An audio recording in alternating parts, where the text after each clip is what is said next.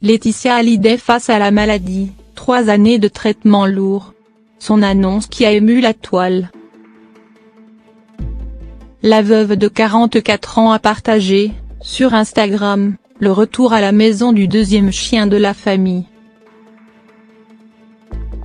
Une pauvre bête qui a souffert d'un gros problème cardiaque.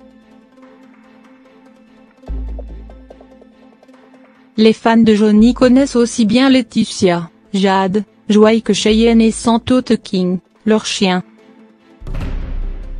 D'ailleurs, ce dernier était absent des réseaux sociaux ces derniers temps et Laetitia a fini par en révéler la raison sur Instagram il y a quelques heures. La veuve de 44 ans a expliqué que l'animal, qui a aussi un compte sur le célèbre réseau social, souffrait d'un gros problème cardiaque qui a engendré trois années de traitement lourd et elle a remercié le spécialiste qui a pu le sauver. Enfin de retour dans la maison de Pacific Palisade où Laetitia réside avec ses deux adorables filles, sans toute King a retrouvé ses marques et son histoire a ému la toile, en particulier la team Hallyday.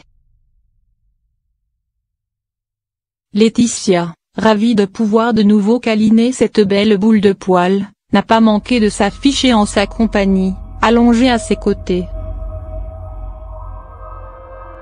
Un moment de tendresse comme on les aime et dont elle avait bien besoin à quelques heures du procès crucial qui risque de déterminer si Johnny avait le droit de déshériter ses deux aînés, Laura May et David Hallyday.